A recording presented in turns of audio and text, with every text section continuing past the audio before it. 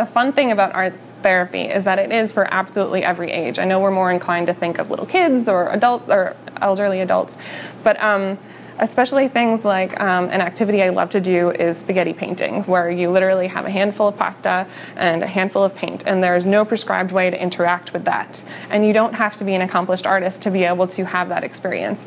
When it comes to different developmental ages, I often just gauge the time.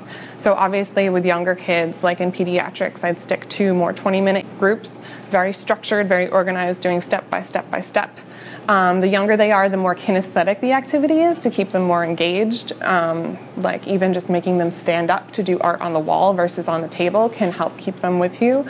Um, and with the older ones, definitely more verbal processing when it comes to it, and the tasks can be more complex. One of my favorite resources is going to the kitchen. The kitchen is chock full of not only materials, but also different tools to help you facilitate the art making.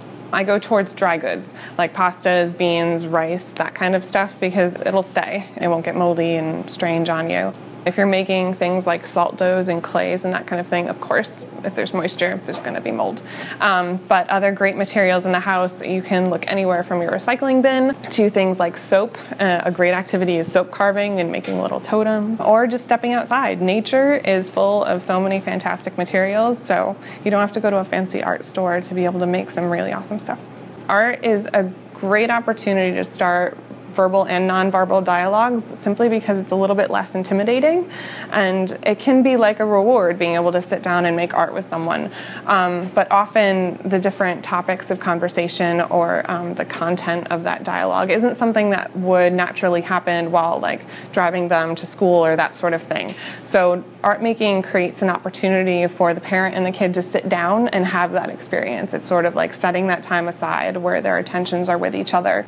I actually encourage people to make ex- mistakes because you learn a lot in that process. Um, art therapy is about the process, not the result. We're not trying to get into the Guggenheim.